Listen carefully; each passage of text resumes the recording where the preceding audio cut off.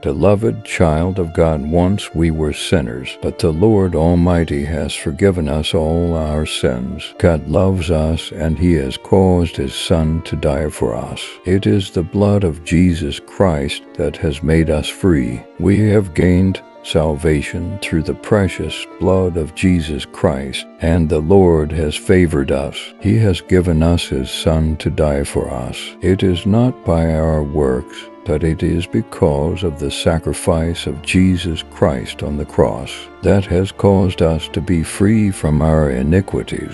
The blood of Jesus has taken away all our sins, and he has made us free. You are no more a sinner, and you are no more a slave to sin, because the blood of Jesus has broken every bondage and the powers of sin upon your life. Therefore, appreciate the Lord for his saving power, and thank Jesus Christ for dying on the cross for you. If you believe Jesus Christ died on the cross, to save you from your sins, type thank you Jesus and share this video with others.